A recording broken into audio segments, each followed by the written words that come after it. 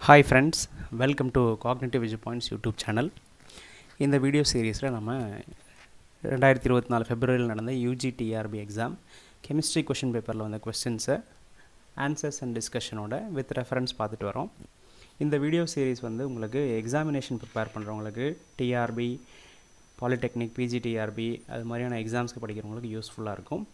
So இதுக்கு முன்னாடி இந்த வீடியோ சீரீஸில் PGTRB two thousand seventeen two thousand nineteen twenty two இந்த எக்ஸாம்ஸ் அப்புறம் பாலிடெக்னிக் எக்ஸாம்ஸ் எல்லாம் டிஸ்கஸ் பண்ணியிருக்கோம். பார்க்காதவங்க அந்த வீடியோ சீரீஸும் பாருங்கள் லிங்க்கு டிஸ்கிரிப்ஷனில் இருக்குது இப்போ இந்த வீடியோ சீரீஸில் நம்ம ஏற்கனவே அஞ்சு யூனிட் பார்த்துட்டோம். இப்போ ஆறாவது யூனிட்டோட வீடியோ தான் இந்த இதில் பார்க்க போகிறோம் இப்போ unit சிக்ஸ்ன்றது colloid surface chemistry and electrochemistry so இதுதான் சிலபஸ் ஃபஸ்ட் பார்ட் வந்து colloids and surface chemistry second part வந்து எலக்ட்ரோ கெமிஸ்ட்ரி கேல்வானிக் செல்ஸும் அடுத்தது வந்து ஹரீனியஸ் தியரியும் இருக்குது ஸோ முதல்ல இருக்கிற கொலாய்ட்ஸ் வந்து பிஜிடிஆர்பிக்கோ இல்லை லெக்சரருக்கான எக்ஸாமினேஷன்ஸ்லேயோ வராது.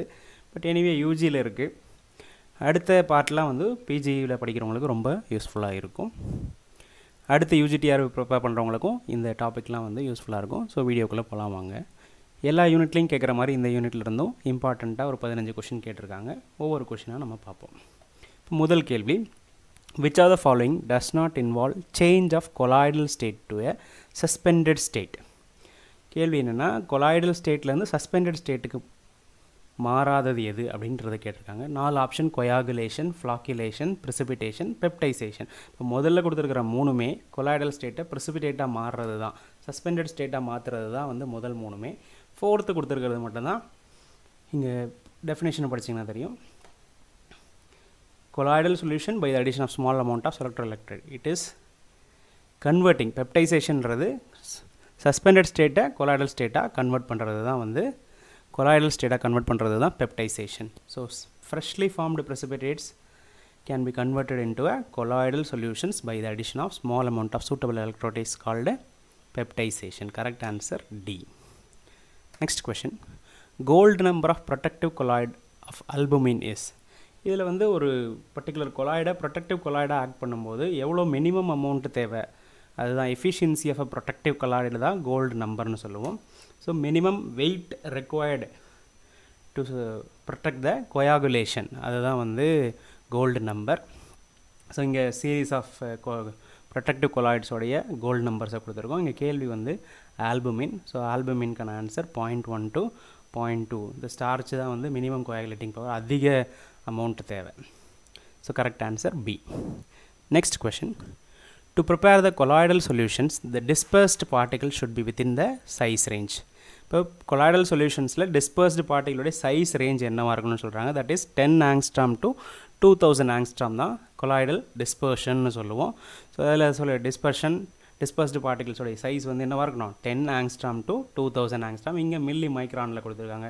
மில்லி மைக்ரானில் நீங்கள் கன்வெர்ட் பண்ணிங்கன்னா answer will be one milli micron to two hundred milli micron so correct answer C next question arsenious sulphide sol colloidal solution is prepared by எப்படி அர்சீனியஸ் சல்ஃபைட் கொலாய்ட் சொல்யூஷனை prepare பண்ணுறாங்கன்னு கேட்டிருக்காங்க different மெத்தட்ஸில் so arsenious sulphide is prepared using double decomposition method by passing a slow stream of hydrogen sulfide gas through a cold solution of arsenious oxide. அதுதான் method so answer D double decomposition reaction next question which are the following statement does not apply to the chemisorption so ஈஸியான question introduction of அட்சாப்ஷன்லேயே பார்க்கும்போது classification physisorption chemisorption இருக்கும். ரெண்டோடைய ப்ராப்பர்ட்டிஸை நீங்கள் பார்த்தீங்கன்னா answer எழுதிடலாம். முதல் ஆப்ஷனை பாருங்கள் forms unimolecular are chemis option எப்போதுமே யூனிமாலிகுலர் தான். Unimolecular layer second occur at lower temperature it can occur at higher temperature also so this is not appropriate third has a large heat of adsorption ஃபிசிக்கஸ் அட்சாப்ஷனை காட்டிலும் chemical அட்சாப்ஷனுக்கு heat of adsorption வந்து அதிகம். Depends on the nature of adsorbent and அந்த ஏன்னா chemical reaction நடக்கணும். ரெண்டுத்தை பொறுத்தும் தான் அமையும். So correct answer is B அதுதான் வந்து does not apply to the chemis option next question variation of adsorption with pressure at a given constant temperature is given by curve called நான் அப்பப்போ சொல்கிறது தான் இம்பார்ட்டன்ட் டேர்ம்ஸோடைய சிம்பிள் டெஃபினிஷன் அதில் சிலபஸில் இருக்கிறோடைய வார்த்தையோட simple டெஃபினிஷன்ஸே தெரிஞ்சுக்கிட்டிங்கன்னா நிறைய கேள்விகளை ஆன்சர் பண்ணுறது ஈஸி அது மாதிரியான ஒரு கொஷின் தான் இது. Adsorption isotherm adsorption isobar isostere இதனுடைய டெஃபினிஷனை நீங்கள் தெரிஞ்சு வச்சுக்கிட்டிங்கனாவே போதும். ஸோ எனிவே ஃபோர்த் ஆப்ஷன் நீங்கள் அப்சாப்ஷன் இருக்குது அது எலிமினேட்டட் மீதி மூணு தான் ஆன்சர் ஐசோதேர்ம்னாவே உங்களுக்கு என்ன வரணும்? ஸோ டெம்பரேச்சர் வரணும் so adsorption isotherm is variation of pressure versus temperature constant டெம்பரேச்சரில் எப்படி எக்ஸ்பிரஸ் பண்ணுறோன்ற கிராஃப் தான் called adsorption isotherm so variation of adsorption with pressure at a given constant temperature is expressed as a adsorption isotherm correct answer B next question for the reaction of zinc 2 plus plus 2 electrons gives equilibrium zinc the Nernst equation is so இதுதான் வந்து reaction zinc two plus reacts with two electron reduction reaction Nernst equation எழுதணும்னா E electrode will be equal to E naught minus RT NF LN one by zinc two plus இதை rearrange பண்ணி எழுதணும்னா positive சைடில் E electrode E naught plus point zero இந்த constants gas constant temperature Faraday constant எல்லாம் substitute பண்ணோம்னா point zero five nine one divided by N where N is number of electrons involve இந்த redox reaction log zinc two plus இந்த zinc two plus மேலே போகும்போது இங்கே plus ஆகிடும் so இதுக்கு பதிலாக நம்ம நம்பர் ஆஃப் எலக்ட்ரான்ஸை சப்ஸ்டிடியூட் பண்ணோம்னா போதும். இங்கே கேள்வியில் கொடுத்துருக்கிறபடி. So correct answer is E equals E naught plus point zero five nine one divided by two number of electrons two log zinc two plus is the correct expression so ப்ரா ப்ராப்ளத்தில் பார்த்தீங்கன்னா ஒரு value கொடுத்து substitute பண்ணி கண்டுபிடிச்சிருப்பாங்க. இங்கே அது தேவையில்லை. Expression மட்டும் தான் கேட்டிருக்காங்க. So correct answer is C next question which one are the following is a reference electrode so எது ரெஃபரன்ஸ் எலக்ட்ரோன்னு கேட்டிருக்காங்க? ஏ ஸ்டாண்டர்ட் ஹைட்ரஜன் எலக்ட்ரோடா கலமல் எலக்ட்ரோ எலக்ட்ரோடா quinhydrone எலக்ட்ரோடா F E three plus two plus F E three two plus எலக்ட்ரோடான்னு கேட்டிருக்காங்க. இங்கே கொடுத்துருக்கிறதுல standard hydrogen எலக்ட்ரோடுன்றது primary reference எலக்ட்ரோடாக யூஸ் பண்ணுறாங்க மற்ற ரெண்டுமே ரெஃபரன்ஸ் எலக்ட்ரோடாக யூஸ் பண்ணுறது உண்டு. பட்டு இங்கே ஒரு கன்ஃபியூசிங் கொஷின் மாதிரி கொடுத்துட்டாங்க. எனிவே மோஸ்ட் அப்ராப்ரியேட் அதாவது ஹை இதில் ஆன்சர் வந்து ஏவாக எடுத்துக்கலாம். சம்டைம்ஸ் நீங்கள் பியும் எடுத்துக்கலாம் because it is secondary reference electrodes so best answer is A standard hydrogen electrode other answers also acceptable. Next question. For 0.0128 normal acetic acid solution of solution of 25 degrees Celsius, lambda equals 14.4 mho centimeter squared equivalent and lambda infinity equals 391 mho centimeter square per equivalent அப்படின்னு கொடுத்துருக்காங்க calculate KA இப்போ இங்கே கொடுத்துருக்குதுன்னா conductance at ஒரு given concentration and conductance at infinity dilution ரெண்டையும் கொடுத்துருக்காங்க. இதிலிருந்து நம்ம என்ன கண்டுபிடிக்க முடியும்னா டிசோசியேஷன் கான்ஸ்டன்ட் ஆல்ஃபாவை கண்டுபிடிக்க முடியும். ஆல்ஃபாவை யூஸ் பண்ணி கேஏவை ஆஸ்வால்ட் ஈக்குவேஷன் வச்சு கண்டுபிடிக்க முடியும். So where alpha is equal to lambda at given concentration divided by infinity dilution which is point three point zero three six eight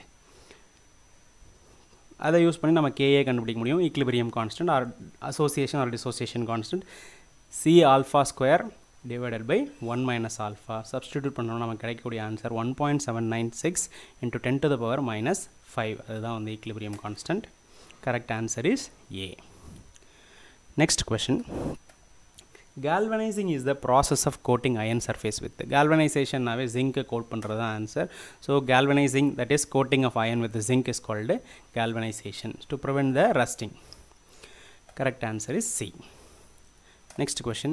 Which metal ion is used to oxidize zinc sorry silver to silver plus?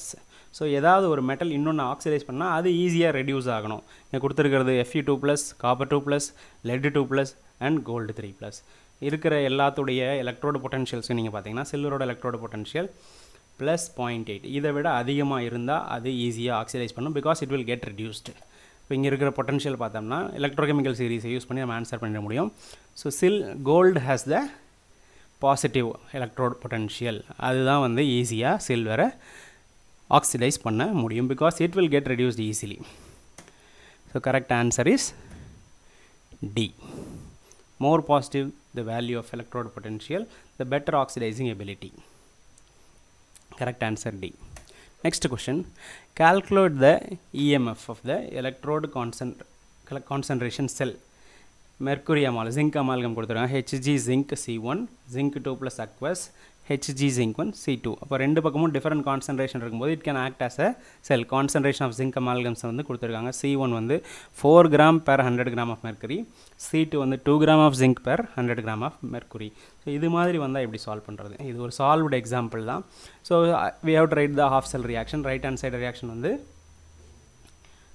zinc two plus gets reduced by two electrons zinc metal left hand side எழுதும் போது oxidation reaction எழுதணும் so overall zinc getting converted into zinc again different concentration so E கேல்குலேஷனுக்கு வந்து point zero five nine அதாவது R T N F R T divided by எஃபோட value and number of electrons involved இந்த கேஸில் two electrons involved log C two divide by C one is the expression solve பண்ணோம்னா நமக்கு கிடைக்கிறது concentration கொடுத்துருக்கிறதுபடி four gram two gram so solve பண்ணோம்னாவே நமக்கு one by டூன்றது தான் அங்கேயும் வரும். இங்கே வந்து டூ ஒன்றுன்னு கொடுத்துருக்காங்க. நீங்கள் எனிவே வேல்யூஸை நீங்கள் சப்ஸ்டியூட் பண்ணுங்கள் சிமிலர் வேல்யூ தான் கிடைக்கும். எயிட் பாயிண்ட் எயிட் இங்கே கொடுத்துருக்கிறதுபடி C one two gram C two one gram but நம்ம ப்ராப்ளத்தில் four gram two gram anyway two by ஃபோரும் one by two தான். ஒன் பை டூவும் ஒன் பை டூ தான். ஸோ ஈக்குவல் தான். Point eight point eight into ten power minus three volt is the correct answer solve பண்ணோம்னா நமக்கு கிடைக்கக்கூடியது C next question which one of the following is the Debye Huckel Onsager equation? Debye-Huckel-Ansagher equation simpler டேர்மில் எழுதும்போது நமக்கு capital lambda M molar conductivity is equal to molar conductivity at infinity dilution minus A plus B into molar conductivity at infinity zero dilution sorry infinity dilution into square root of கான்சன்ட்ரேஷன்றது தான் expression அந்த ஏவோட டேர்மையும் பியோட டேர்மையும் எக்ஸ்ப்ளஸ் பண்ணணும்னா நமக்கு கிடைக்கிறது uh, capital lambda m equal to capital lambda m naught minus 82.4 divided by dt in power 1 by 2 eta plus 8.20 into 10 power 5 divided by dt power 1 by 2 lambda m 0 into concentration or root square root of concentration. So this term is referred as a this term is referred as b. This is due to electrophoretic effect this is due to asymmetry effect. So correct answer is b. next question h plus aqueous plus electron gives half h to gas is an example of so ஒரு எலக்ட்ரோட ரியாக்ஷனை கொடுத்துட்டாங்க இது எதுக்கான எக்ஸாம்பிள்னு கேட்குறாங்க this is called one of the case எலக்ட்ரோட்ஸ்க்கான example hydrogen எலக்ட்ரோட்னு சொல்லுவோம் so answer is D example of gas electrode so இங்கே இருக்கிறத பார்க்கும்போதே தெரிஞ்சிடும் மெட்டல் மெட்டலையானா மெட்டலும் கிடையாது மெட்டலையானும் கிடையாது. குளோரின் இருக்கா குளோரினும் கிடையாது. ஆக்சிஜன் இருக்கா ஆக்சிஜனும் கிடையாது. ஸோ இது தெரியாமையே ஈஸியாக கேஸ் எலக்ட்ரோடுன்னு ஆன்சர் பண்ண முடியும். ஆன்சர் இஸ் டி ஸோ இதெல்லாம் தான் unit six of UG TRB சிலபஸ்லேருந்து கேட்கப்பட்ட கேள்வி. எலக்ட்ரோ கெமிஸ்ட்ரி சர்ஃபேஸ் கெமிஸ்ட்ரி எல்லாம் பிஜி படிக்கிறவங்களுக்கோ பாலிடெக்னிக் டிஆர்பி படிக்கிறவங்களுக்கோ யூஸ்ஃபுல்லாக இருக்கும். கொலாய்டல் கெமிஸ்ட்ரி அடுத்த யூஜிடிஆர்விக்கு படிக்கிறவங்களுக்கு யூஸ்ஃபுல்லாக இருக்கும். ஸோ இதே மாதிரி ப்ரீவியஸ் வீடியோஸை பாருங்கள் பிஜிடிஆர்பி சீரீஸையும் பாருங்கள் பாலிடெக்னிக் சீரீஸையும் பாருங்கள் கண்டிப்பாக எக்ஸாமினேஷன் ப்ரிப்பரேஷனுக்கு உங்களுக்கு யூஸ்ஃபுல்லாக இருக்கும். அடுத்து நம்ம யூனிட் செவனோட வீடியோவில் மறுபடியும் சந்திப்போம். தேங்க்யூ ஃபார் வாட்சிங் உங்களுக்கு வீடியோ பிடிச்சிருந்தால் லைக் பண்ணுங்கள் சந்தேகங்கள் ஏதாவது இருந்தால் கமெண்ட் பண்ணுங்கள் மறக்காமல் நம்ம சேனலுக்கு சப்ஸ்கிரைப் பண்ணுங்கள் உங்கள் ஃப்ரெண்ட்ஸ் எல்லாருக்கும் ஷேர் பண்ணுங்கள் தேங்க்யூ ஒன்ஸ் அகெயின்